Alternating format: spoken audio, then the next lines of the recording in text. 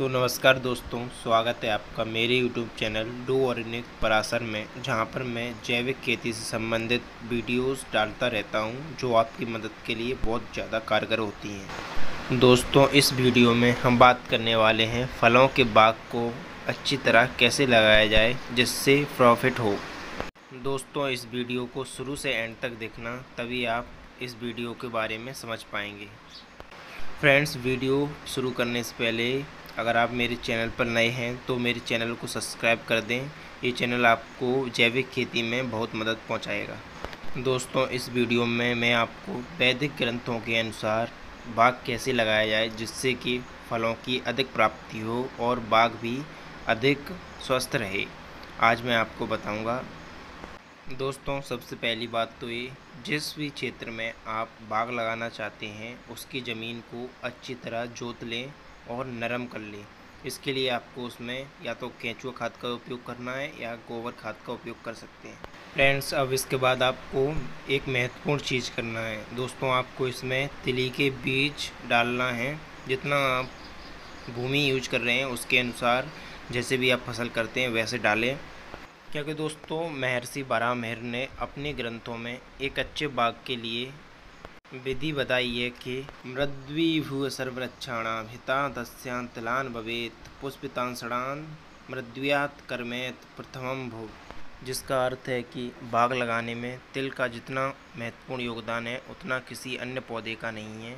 अतः फ्रेंड जैसा मैं बताता जा रहा हूँ, आप वैसा ही करें और एक अच्छा बाग पाएँगे आप। दोस्तों, अब इसके बाद जब तिल के पौधे में फूल आ जाएँ तो आप इसको उसी भूमि में मसल दें या फिर आप उसकी जुताई कर दें जिससे ये सब फूल और पौधा मिट्टी में ही रह जाए। दोस्तों, इन फूल और पौधों को अच्छी तरह मिट्टी में मिल जाने के बाद आपको इसमें पौधों की रोपाई करना है। दोस्तों, पौधों की रोपाई करते वक्त आपको ध्यान देना है उनकी दूरी में, जो कि एक महत्वपूर्ण योगदान है फल और फूल लगने में। नहीं तो एक पौधा दूसरे पौधे से प्रभावित होता है, जिससे हमारा उत्पादन भी प्रभावित होता है। दोस्तों, आगे महर्षि बारह जी कहते हैं कि उत्तमम विंसरहिता मध्यम षोडशंतरम स्थानात स्थानांतरम कार्यम वृक्षाणम द्वादशावरम जिसका अर्थ है कि फल देने वाले दो पौधों के बीच की दूरी कम से कम 20 हाथ होना चाहिए। अगर आप इतना नहीं कर सकते तो 16 हाथ, अधिकतम 16 हाथ मध्यम होना चाहिए। इससे एक पौधा दूसरे पौधे से प्रभावित नहीं होता और उत्पादन भी सही होता है।